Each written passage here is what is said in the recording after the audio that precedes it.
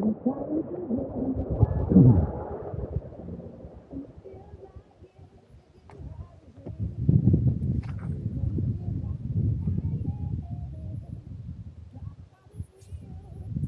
pretty card. love that.